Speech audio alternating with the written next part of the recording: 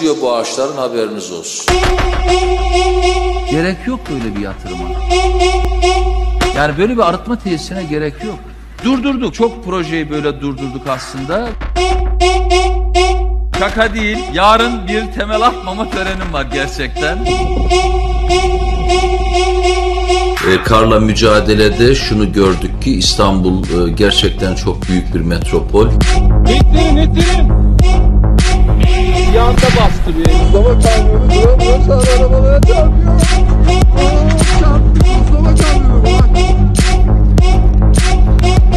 Aynen başkanım yollar çok açık şu anda harika. Herkes bilsin. Bir, İstanbul'un ulaşım ve trafik sorununu çözmek.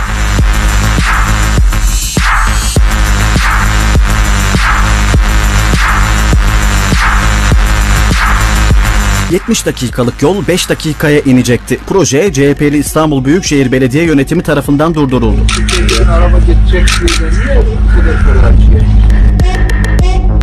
Sancaktepe yeni doğan Taşdelen metro hattı inşaatında kazılan tünel ve şaftlar İstanbul Büyükşehir Belediyesi tarafından beton ve toprakla kapatılıyor. Geri doldurulacak bunlar. Neden? İptal oluyor. Çınar ağaçlarından bazıları geçtiğimiz günlerde İstanbul Büyükşehir Belediyesi ekiplerince kesildi.